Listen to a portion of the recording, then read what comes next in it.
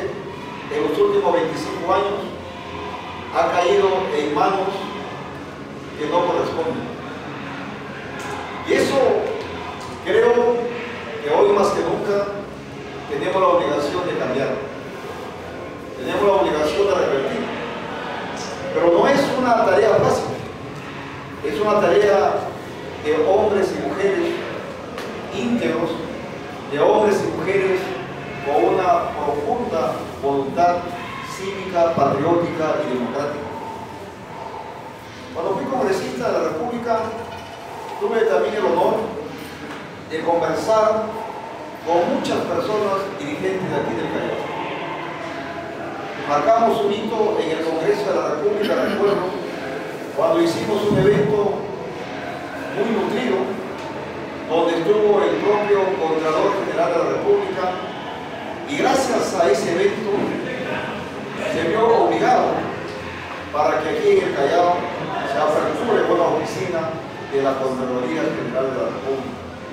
Pero asimismo también se presionó a través del Congreso de la República al Poder Judicial y al Ministerio Público para que sigan con unas acciones de fiscalización y de control directo, porque lamentablemente aquí en el Callao muchas de las investigaciones, muchas de las denuncias se están pasando por agua tibia. Y es en ese sentido que yo tengo que reconocer también a brillantes fiscales, a brillantes jueces y también policías honestos, honrados, que han hecho mucho por el Callao. Pero más que a las autoridades al que tengo que felicitar y reconocer el esfuerzo, es siempre a ustedes. A ustedes porque siempre han estado al pie del cañón. Porque ustedes siempre han estado dando lo de sí lo mejor. Recuerdo a los dirigentes, y voy a referirme solamente a una persona que no lo veo esta noche, me refiero a don Lucio Morales, que él siempre ha estado ahí caminando. Fíjense que más que hablar de nombres o de personas, yo creo que el Callao se merece una independencia en el cortísimo plazo. Pero ya Sara me ganó. Yo quería recordar como hombre a la Día Internacional de la Mujer. Efectivamente, hoy creo que debe ser un homenaje a la mujer electoral, no solamente a través de una palabra, sino a través de un compromiso serio. ¿Y ustedes por qué dirán a la mujer? Porque la mujer en realidad constituye no solamente la columna fundamental de un hogar, sino de la sociedad. A través de la mujer, de las madres en general, son donde se gesta la semilla, donde surgen los líderes del futuro, donde se gestan los nuevos ciudadanos. Hay una filósofa que decía, educar a una mujer es educar a toda una generación. Si nosotros logramos que aquí en el Callao todas las mujeres tomen conciencia de la problemática que vive nuestro pueblo, tengan ustedes la seguridad que vamos a dar un gran salto cuántico, como decimos los ingenieros a través de la física. ¿Por qué? Porque precisamente vamos a cuidar, al esposo, porque me imagino que a muchos de ustedes serán aburridos que se vaya el esposo, ¿eh? Pero lo que sí es al hijo y a la hija, al hijo y a la hija, que debemos de cuidarlo de verdad. Es en ese sentido que antes de continuar con mi pequeña locución, también quisiera pedirles a todos y cada uno de ustedes que tributemos con un fuerte aplauso a la mujer chalaca y a la mujer peruana en general.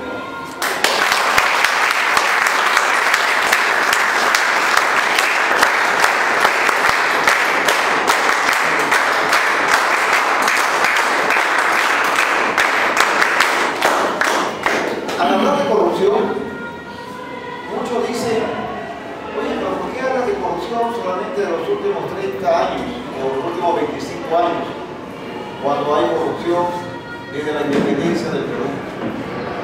Está bien, la corrupción es muy antigua, pero sin embargo, a lo largo de la existencia republicana de nuestro país, muy poco se ha combatido de verdad. La corrupción se ha seguido dando a través de una, prácticamente de un cáncer y que se ha convertido ya en una epidemia, en una pandemia, en la que un gran peruano también, con el cual podemos discrepar políticamente, como fue González Prada, Manuel González Prada, donde decía, donde pongo el dedo sale luz. O cuando también Jorge Basadre da un gran mensaje a la juventud, en la que le dice, jóvenes, ustedes tienen la obligación de no vender su conciencia por unas cuantas monedas. Ustedes tienen la obligación de sentarse de igual igual, pero no confundirse con aquellos que se hacen llamar caballeros o damas cuando están negociando bajo la mesa los destinos del país y los destinos de su comunidad. Esos mensajes de grandes hombres y mujeres, como lo fueron también María Parado de Bellido y Tomasa, otra gran lideresa india que tampoco se ha recordado en los últimos años, en los últimos tiempos. Por eso en nuestro país hay grandes ejemplos de honestidad. En nuestras raíces existe la tradición del Perú antiguo, del Perú antiguo que decía la, teología andina no sea ocioso, ladrón y mentiroso. Entonces, ¿en qué parte de nuestra historia, disculpen la palabra, se jodió el Perú? El Perú se jodió, ¿saben cuándo? Cuando simplemente se ha dado con énfasis la indiferencia. Cuando nosotros hemos dado cheque por los politiqueros, porque no son políticos, sino son politiqueros. Los políticos de verdad son aquellos que realmente tienen una conciencia cívica y que piensan en función del pueblo, que piensan en función del interés nacional y no del interés personal. Hay un gran discurso que también dio Pericles 500 años antes de Cristo. 500 años antes de Cristo, Pericles esperaba a su ejército Atenas victorioso después de una gran batalla. Pero por supuesto que en ese ejército habían también heridos y también habían muertos. Pero sin embargo, Pericles lo recibe con un gran aplauso y le dice un discurso elocuente que hasta hoy debe retumbar en nuestros oídos y nuestra conciencia. Cuando dice, en Atenas no hay lugar para aquellas personas que solamente se dedican a su interés personal. En Atenas no hay lugar para aquellos que estimen la indiferencia, porque todos los atenienses, atenienses tenemos que dedicarnos también a preocuparnos por el manejo de la cosa pública. Y esa indiferencia que increpaba Pericles hace 500 años antes de Cristo, hoy en esta época moderna se ha impregnado en nuestro país. Y es por eso que la sociedad en su conjunto también se ha convertido en cómplice. El milagro peregrinaje a través del Perú, no solamente como congresista de la República, sino como presidente de mi partido, a un pueblo caluroso y muy alejado de acá de Lima, para ser, para ser exactos, Olmos en la provincia de La Valleca. Encontré una frase que decía, pueblo que vota por corruptos no es víctima, sino es cómplice. Por lo tanto, hermanos y hermanas, aquí en el Callao, hay que decirle al pueblo chalaco que ya no puede votar por corruptos porque no va a ser víctima, sino va a ser cómplice. Y es en ese sentido que creo yo que debemos de tributar un fuerte aplauso a nuestros hermanos dirigentes y dirigentes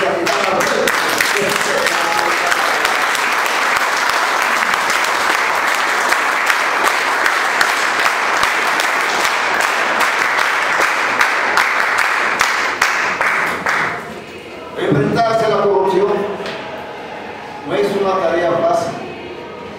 Es una tarea de hombres y de mujeres de bien hay que tener fundamentalmente una trayectoria limpia también, porque si cuando tú empiezas a denunciar, te van a cuestionar y te van a perseguir. Tuve la gran responsabilidad también de presidir la Comisión ANCAS en el Congreso de la República. Cuando presidí la Comisión ANCAS, el informe tenía aproximadamente 1.200 páginas y los anexos cerca de 3.000. Pero no eran cualquier hoja, sino eran realmente hechos fundamentados que habíamos encontrado y que hoy está rendiendo frutos en el, en a nivel nacional. ¿Y por qué les digo esto? Porque cuando uno sigue con esa tarea, Chávez Rojas lo han amenazado. A mí también me amenazaban de manera permanente y hasta hoy lo siguen haciendo. De manera indirecta, a través de internet, a través del teléfono, a través del celular. Pero yo siempre digo, si Dios está conmigo, ¿quién podrá estar en contra de mí? Ese es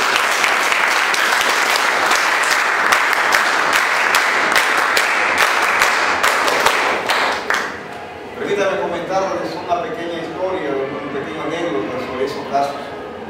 Resulta que cuando yo termino mi labor parlamentaria, a los pocos meses en mi, en mi casa en Jaén, me llega una notificación del Ministerio Público, en la que mis familiares me llaman de Jaén y me dicen, Mesías, ha llegado una notificación del Ministerio Público. Y le digo, ¿qué pasa? están denunciando mi visita por malversación, por peculado y por enriquecimiento ilícito.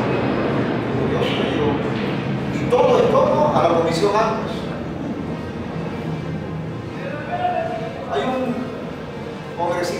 que ustedes se imaginan, porque he tenido serios enfrentamientos públicos con él.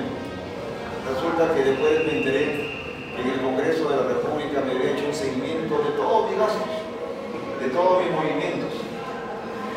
Ojo, mi correligionario. De todos mis movimientos.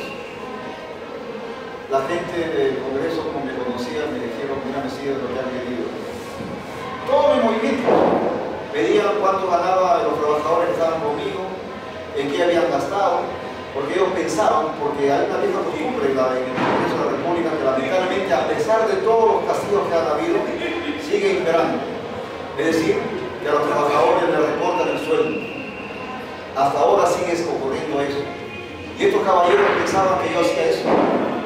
Pensaban de que yo recortaba los sueldos. Y pensaban de que yo había traficado con la Comisión antes. Y ese mismo informe del Congreso de la República lo trasladaron al Ministerio Público. Y en el Ministerio Público al final yo no sabía que estaba siendo investigado por el fiscal de la Nación llega el informe, esa notificación en la que decía no al lugar de la investigación porque el señor Mesías Guevara no ha cometido ningún acto, ningún acto de corrupción. ¿Y por qué le digo esto? Le digo esto porque aquellos que están enfrentándose a la corrupción, lo primero que tienen que hacer es cuidar su propia trayectoria personal, profesional, en todo sentido. Porque además hay una vieja frase que dice coherencia. En la antigua Roma se decía la mujer del César no solo tiene que parecerlo o serlo, sino parecerlo también.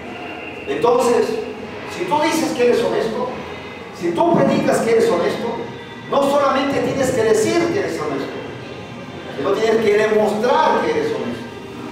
Porque de esa manera vas a tener un alma mortal.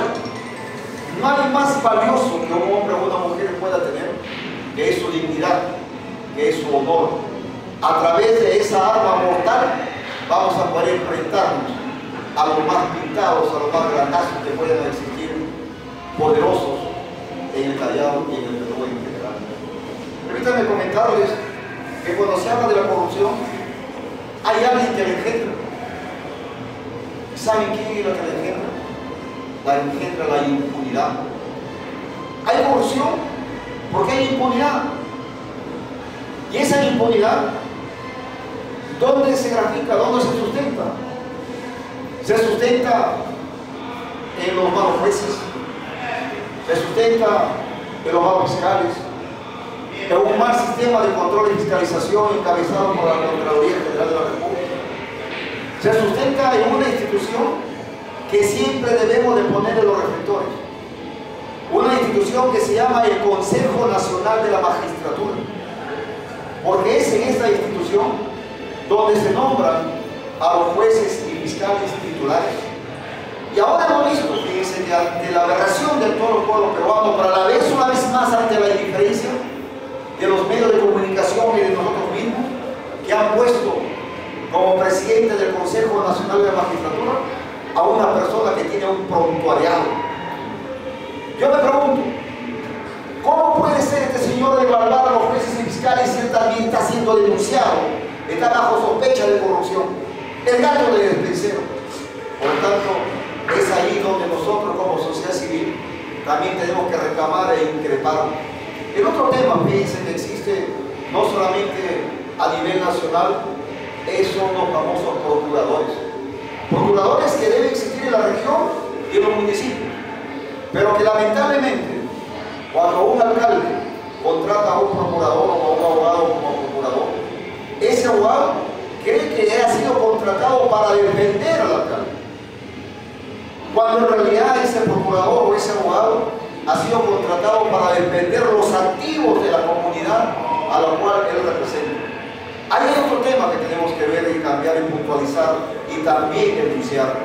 El otro tema es la Oficina de Control Interno, que debe representar y responder directamente a la Contraloría General de la República. Entonces, ¿qué ocurre, hermanos y hermanas? Ocurre que existe corrupción porque hay impunidad. Y otro elemento que no debemos de dejar de mencionar es el propio Congreso de la República, donde lamentablemente hemos visto, por ejemplo, que de los 130 congresistas actuales, solamente 20 congresistas han dado su declaración de intereses. El resto no lo ha dado. ¿Por qué no lo ha dado? Porque precisamente están inmersos en conflicto de intereses.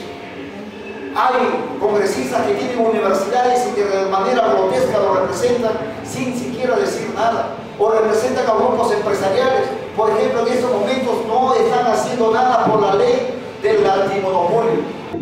Monopolio que en Perú se lo han repartido en el sistema de telecomunicaciones, financiero, energético. Es decir, el Perú se ha repartido ante la vista y paciencia de los congresistas de la República. Eso es corrupción también, y eso es parte de la impunidad. En el Congreso de la República existe una subcomisión que debemos recordar también, que es la subcomisión de acusaciones constitucionales. Es en esa comisión donde se denuncia a los jueces, a los vocales, a los fiscales. Y sin embargo, esa comisión, muchas de las denuncias que llegan contra jueces y fiscales bien sustentados, simplemente no tienen lo que es el proceso debido porque no les interesa a los congresistas, porque hay un pacto de honor entre ciertos congresistas y el Poder Judicial. Entonces, miren, ¿eso qué se llama? Eso es impunidad. Ahora ustedes me dirán, ¿y cómo cambiamos eso? Eso lo vamos a cambiar única y exclusivamente cuando haya una conciencia colectiva que quiera hacer un movimiento y una participación plena en torno de fomentar la transparencia. La corrupción se combate única y exclusivamente con transparencia. ¿Y cómo se logra la transparencia? La transparencia se logra a través de lo que es la de la participación plena de la ciudadanía. Cuanta más participación plena haya de la ciudadanía en general, va a haber menor corrupción. Por ejemplo, hoy he venido por acá y he encontrado varias calles que están, están levantando. Yo le pregunto a los vecinos que viven acá en Bellavista, le pregunto, ¿cuántos de ustedes están participando, fiscalizando que esa obra se dé verdad. ¿Cómo fiscalizar? El expediente técnico a través de transparencia, de la información de transparencia, para ver si están poniendo la mezcla adecuada. Eso se puede hacer. ¿Y, ¿saben por qué? Porque si hace mal esos faltados, esas calles, al final los perjudicados vamos a ser nosotros mismos. Entonces, cuanto mayor participación haya por parte de nosotros, vamos a tener mayor control y obras que realmente se den de verdad. Ustedes se imaginan que eso es lo que ocurre acá en Vista, extrapolándolo a nivel nacional? Según la Contraloría General de la República, aproximadamente el 10% del presupuesto de la República se pierde en este tipo de hechos de corrupción, lo cual es el presupuesto hoy bordea los 150 mil millones de dólares, de soles, perdón. De esos 150 mil millones de soles, 15 mil millones de soles a nivel nacional se están perdiendo en actos de corrupción. Ahora, el dinero que se inyecta para manipular no solamente el Callao, sino a nivel nacional, proviene precisamente de los actos de corrupción y también proviene de lo que es el narcotráfico y proviene de lo que es la minería ilegal y proviene de la tala ilegal. Es decir, que en nuestro país existe toda una ilegalidad que lamentablemente el Congreso no tiene la capacidad ni la valentía ni la, ni la conciencia de enfrentar de verdad y lamentablemente con un poder judicial también copado por cierto partido político, que ya ustedes ya saben a quién me refiero, que siempre se ha, declarado, considerado como el intocable del Perú. Entonces, ese es el tema que nosotros debemos reflexionar de manera constante y permanente. existe corrupción porque hay impunidad. Y la corrupción se combate con transparencia.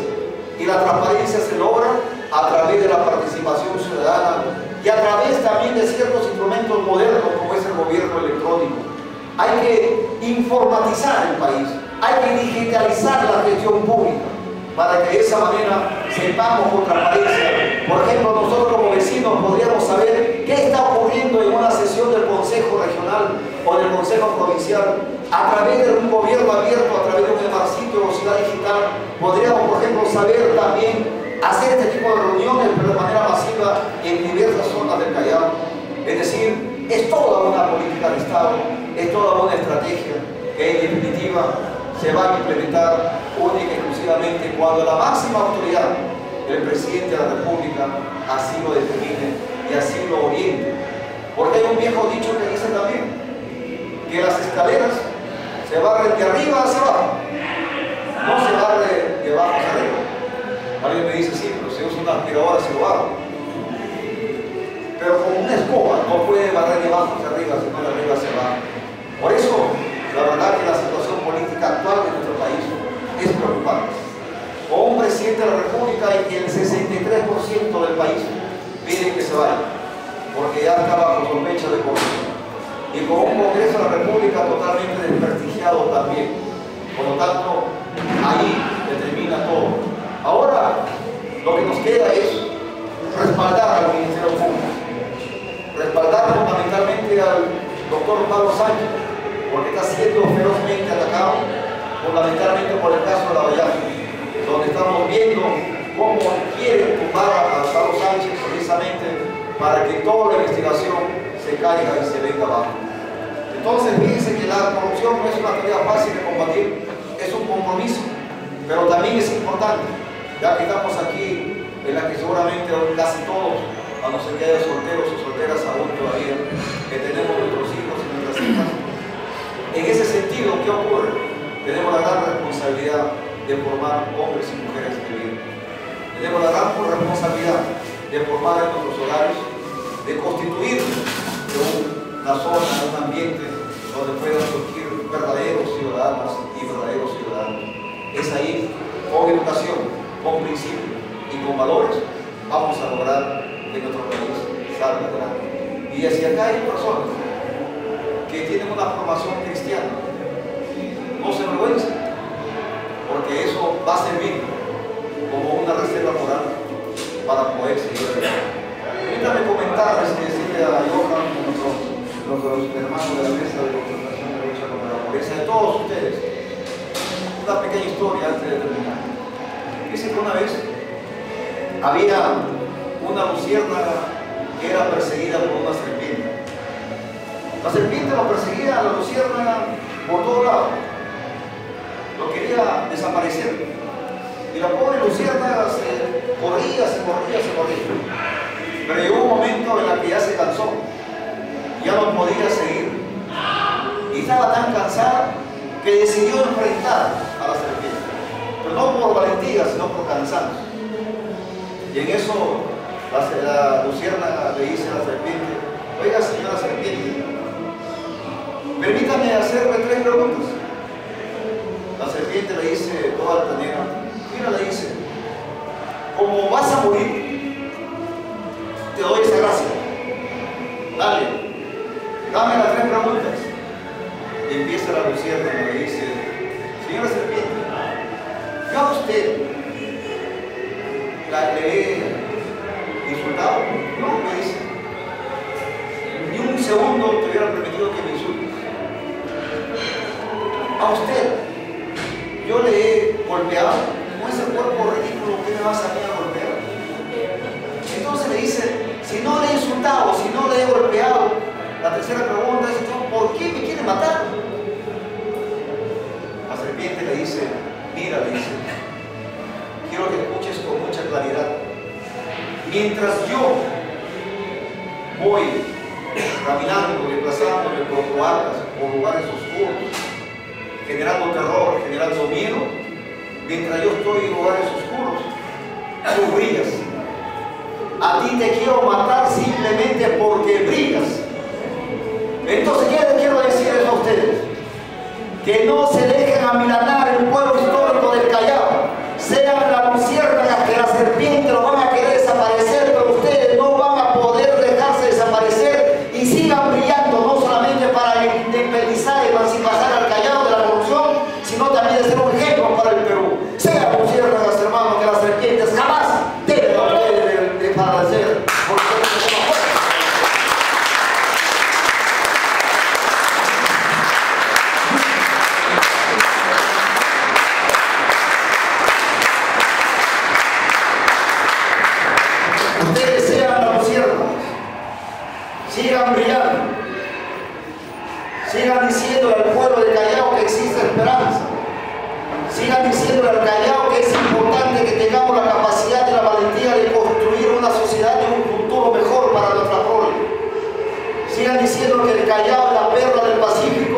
la joya del Perú, que lamentablemente hoy está siendo maltratada y marchitada por ciertas manos.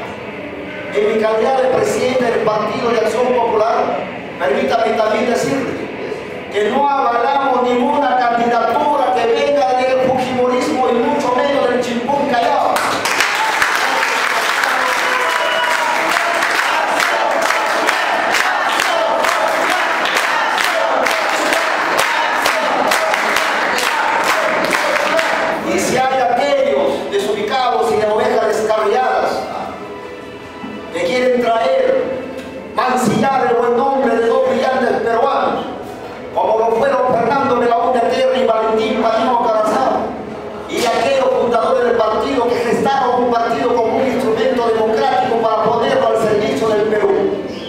Permítanme decirles que no lo vamos a permitir.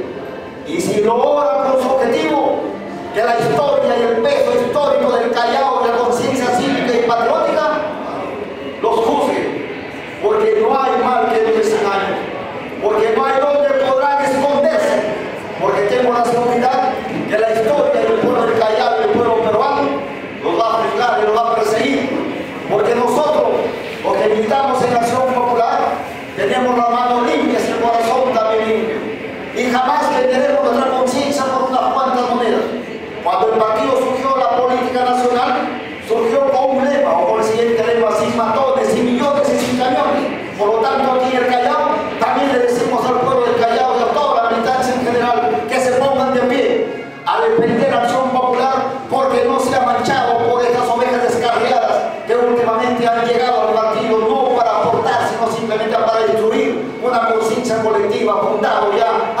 22 años, hago un llamado al Comité Nacional Electoral